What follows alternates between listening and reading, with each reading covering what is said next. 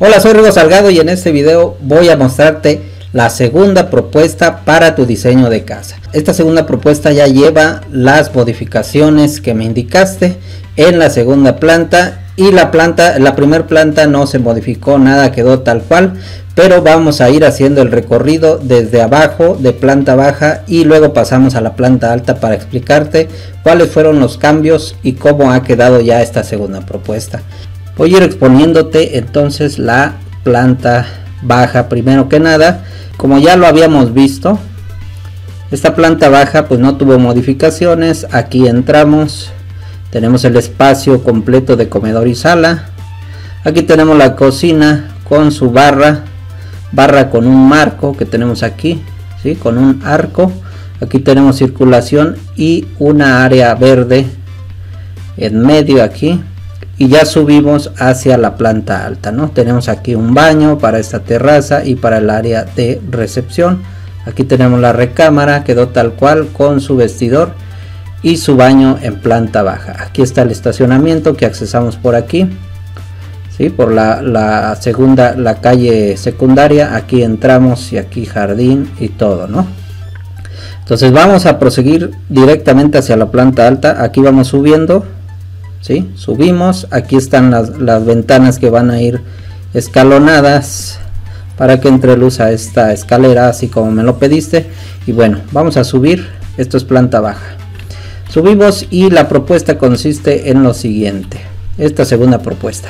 Planta alta llegamos aquí a un vestíbulo esto es el vestíbulo mira. Va a tener un domo para iluminarlo y ventilarlo también si es necesario entonces, ya estamos aquí en planta alta y indica, es, esta indicación es de que bajamos precisamente hacia la planta baja y aquí subimos hacia la azotea donde va a estar el cuarto de eh, lavado y planchado, ¿no? Es un circuito vertical esta escalera. Entonces, como me lo proponías, dejar una recámara, otra recámara más, y en medio el baño para que lo compartan estas dos recámaras. La recámara 1 quedó exactamente arriba de la primera que está en planta baja y lo que se modifica bueno es el vestidor porque ya no le dejamos baño, ¿no? Entonces queda un vestidor más grande, queda la misma recámara, esto para eh, montar la estructura de planta alta sobre la estructura de planta baja, ¿no? Entonces aquí tenemos el baño completo, este es lavabo, WC, regadera. Aquí entramos y ventilamos por aquí. Esto es un vacío hacia el estacionamiento. Entonces aquí se forma un vestíbulo y de aquí entramos a la segunda recámara con su closet y tenemos ventilación e iluminación aquí también. E, esta recámara bueno quedaría ventilada e iluminada en esta parte y eh, siguiendo aquí con el vestíbulo, siguiendo con el recorrido, aquí estamos en el vestíbulo nuevamente. Y este estudio queda exactamente arriba de, la cocina, de la estructura de la cocina que tenemos en planta baja. Entonces tenemos estudio, aquí en medio está la, la mesa de trabajo con sus sillas, ¿sí? puede ser oficina o estudio, y aquí también debe haber un domo. Aquí hay un domo en estos laterales hay librero y librero. Deja, considerando las circulaciones necesarias, obviamente no muy holgadas, pero funcionales todavía, ¿no? Aquí entramos hacia el estudio. En un rato más le voy a colocar las medidas correspondientes para que veamos cómo quedaron de amplitud. Entonces aquí, del mismo vestíbulo, entramos hacia un salón que es sala de TV, y sala de juegos. Es un salón aquí de, usos múltiples o de convivencia. ¿sí? Y realmente es la sala de TV que tú me proponías. Y también le coloqué aquí un espacio para juegos. ¿no? Entonces aquí tenemos esta área de terraza. Y obviamente nos va a coincidir con la fachada que tienes considerada para este, este tu proyecto, ¿no? Aquí es un vacío, estas líneas punteadas que, ves aquí es un vacío, igual que acá es un vacío. Entonces, construcción está exactamente arriba de la construcción de planta baja. planta alta sobre la estructura de planta baja eh, coinciden la mayoría de los muros la estructura y de esta forma quedaría la segunda propuesta ahora le vamos a colocar sus medidas correspondientes a estas bueno le vamos a colocar de una vez a las dos a las dos le vamos a colocar a las dos plantas le vamos a colocar sus medidas voy a hacer una copia para que te envíe este plano y puedas analizarlo con más calma. Entonces vamos a colocarle aquí las medidas correspondientes. Aquí bueno pues va a quedar un jardín en planta baja de 270 ¿sí? por eh, todo este espacio aquí hasta donde está el acceso que tiene 415 ¿sí? un jardín de 415 por 270 es este de acá y ahora este también aquí tenemos otro jardín más que obviamente es casi un espejo del, del anterior ahí serían 270 y el espacio aquí de 4 metros. Bien el acceso lo tenemos de este es el acceso peatonal principal. Tenemos 1.40 y aquí también tenemos se supone que lo mismo. Así es 1.40 este espacio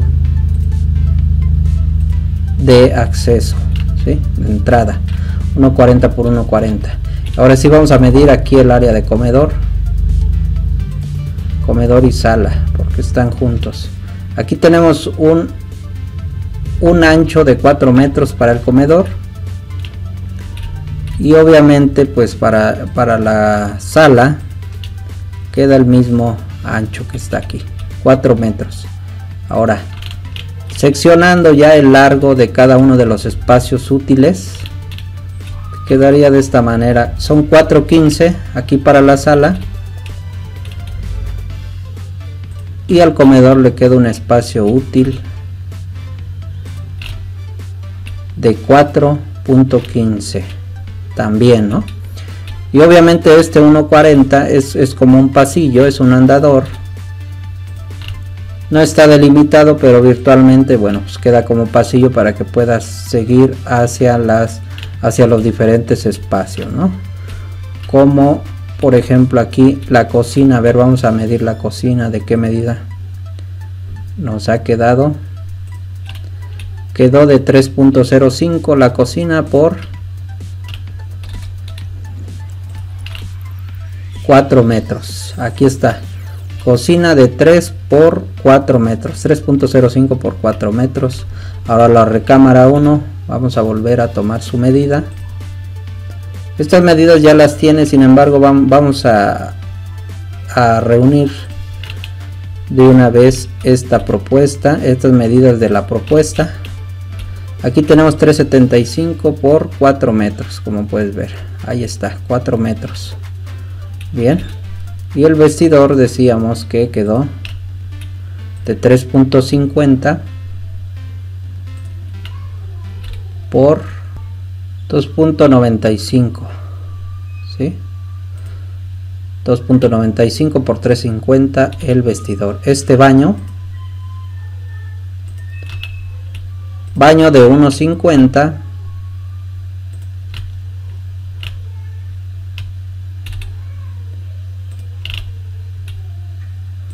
por 2.95 1.50 por 2.95 ahora este, este pasillo sigue conservando el 1.40 y aquí esto, esto es como un peralte como una jardinera. Es un detalle relevante que lo podemos hacer un detalle muy bonito aquí en, en el área de, de, recepción y ya comenzamos a subir a planta alta y por aquí bueno este pasillo es el que nos queda libre para el, eh, el, baño completo que tenemos aquí no entonces aquí este baño vamos a medirlo. Este baño tiene 1.95 por 1.95 como puedes ver está cuadrado este baño no este baño que va a dar servicio bueno a la planta baja y a esta terraza vamos a medir esta terraza de planta baja como nos ha quedado donde está tu asador 2.85 de ancho por 5.55 como puedes ver ¿sí? 5.55 por 2.85 queda esta terraza con su asador ¿sí? aquí está su fregadero el estacionamiento bueno pues nos queda nos queda aquí una entrada una entrada de 5 metros y un espacio utilizable para dos autos de el espacio de 5.15 aquí como puedes ver aquí lo vamos a colocar.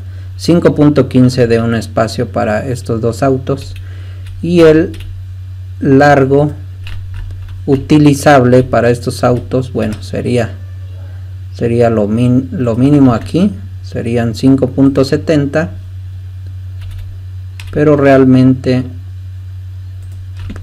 podemos si metes una camioneta más larga tienes un espacio de 6.60 ¿no? la metes hasta acá 6.60 espacio suficiente.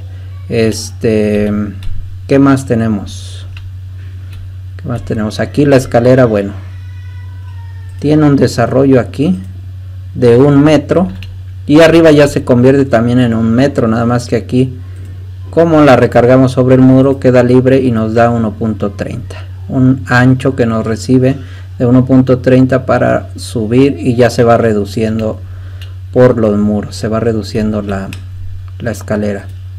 Aquí cuánto tenemos. Ah bueno aquí se sigue conservando este este andador de 1.40 bien un andador recreativo porque aquí tenemos área verde. Entonces así ha quedado nuestro estas son las medidas de la planta baja. Aunque no sufrió ninguna modificación no le hicimos ninguna modificación pero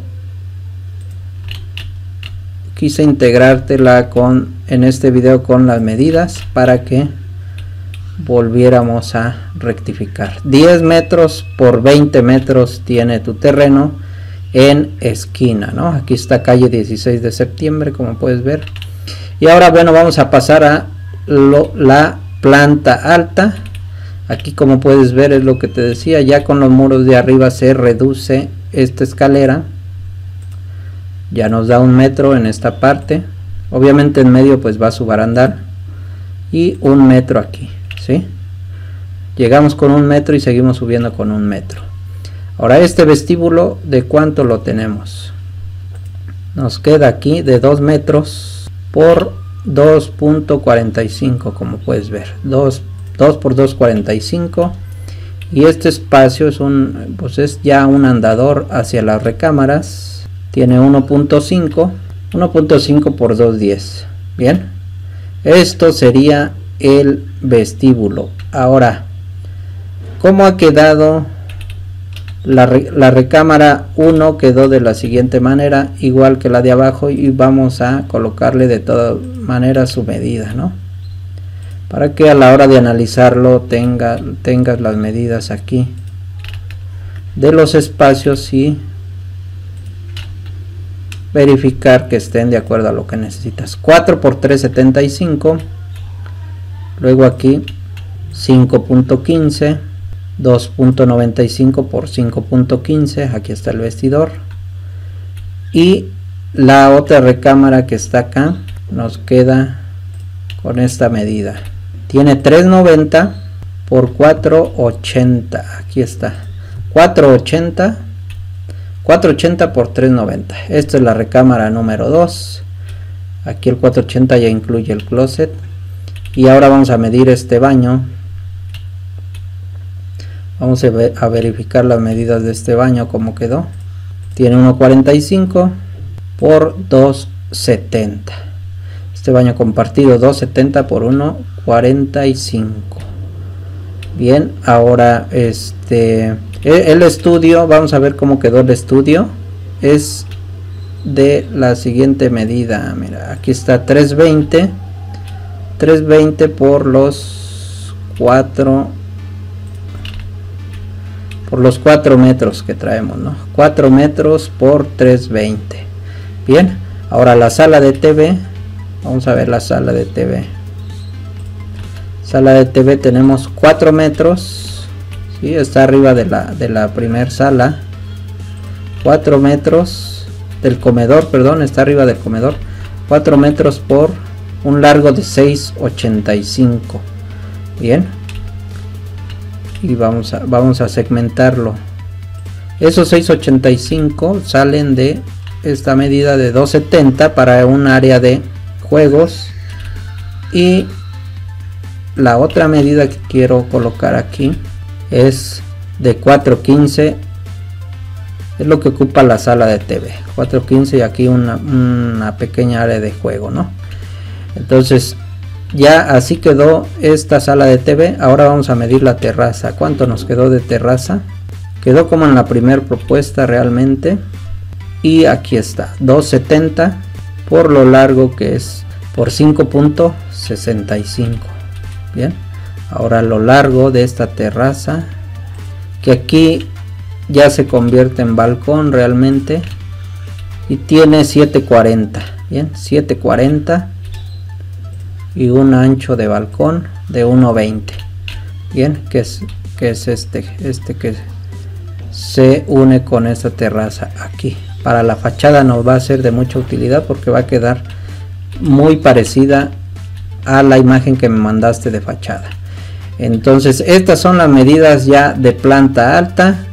Segunda propuesta para tu diseño de casa. Tengo una tercera propuesta que creí conveniente que la revisemos. Entonces en el siguiente video te la voy a te la voy a enviar te la voy a mostrar también. Pero esta es la principal sí con las modificaciones que me indicaste también. Entonces te voy a enviar estos planos para que los analices y me comentes qué te parece. Entonces nos vemos en la próxima ocasión para enviarte la tercera propuesta y la podamos analizar a detalle igual que esta segunda propuesta